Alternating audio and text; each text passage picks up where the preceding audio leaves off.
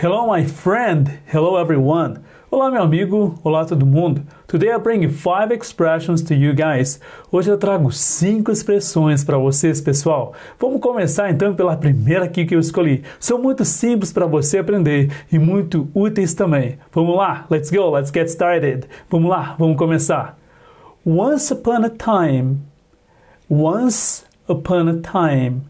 Once upon a time. Era uma vez. Anota aí então para você aprender direitinho e não esquecer.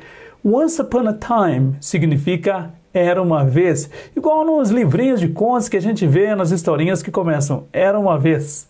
A próxima então ali, ó, que nós temos aqui agora. The, le uh, the legend has it. The legend has it. Conta a lenda. The legend has it. Conta a lenda ou reza a lenda, ok? The legend has it. Agora, próxima aqui então para você. Essa expressão é uma expressão muito interessante. Eu quero ver se você sabe a tradução. Vamos lá. He kicked the bucket. He kicked the bucket. He kicked the bucket. Literalmente, quando eu Literalmente, quando eu tento traduzir essa frase, então, de maneira literal, é claro, significa assim, ó, ele chutou o balde. Então, ele chutou o balde. Quando você escuta isso, o que, que você pensa quando você escuta que alguém chutou o balde? A primeira coisa que você pensa é que alguém desistiu de fazer alguma coisa, que ele abandonou um projeto, abandonou alguma ideia, desistiu de fazer algo, não é? Pois é. Em português, ele chutou o balde ou chutou o pau da barraca significa isso, mas no inglês, a expressão he kicked the bucket, ele chutou o balde, na verdade significa que ele morreu.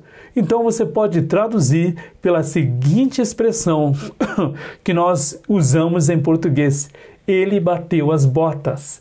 Não tem nada a ver com o significado de cada palavra dessa frase, não é?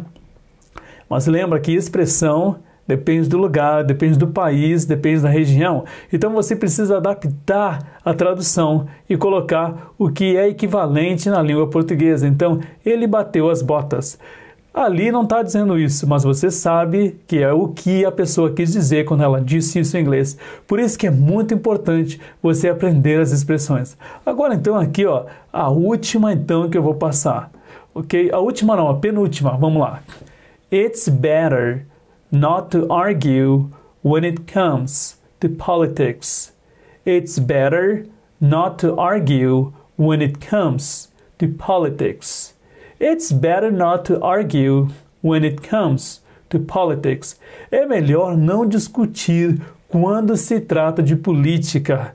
E essa frase está totalmente correta, né? Porque a gente vê muita gente aí brigando e discutindo por causa de política nesse ano de 2018 nas redes sociais, que ninguém aguenta mais. Você não vê uma foto de um amigo, não vê um, um post bacana de alguém, não. É só briga por causa de política.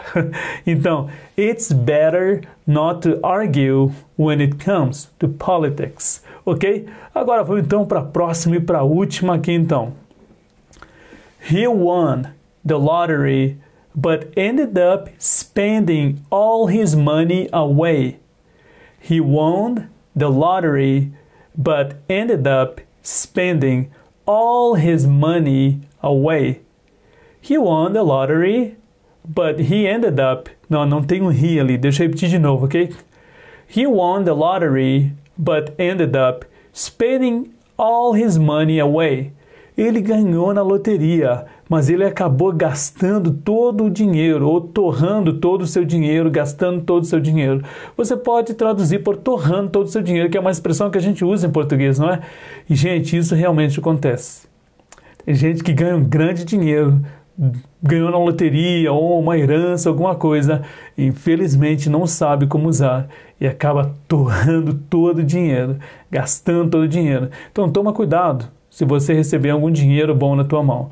Porque dinheiro às vezes é vendaval. Ele vai e vem. Toma muito cuidado, investe bem teu dinheirinho, não torra ele não. Então, he won the lottery, but ended up spending all his money away. Ele ganhou na loteria, mas acabou torrando todo o seu dinheiro. Ok? Espero que você tenha aprendido.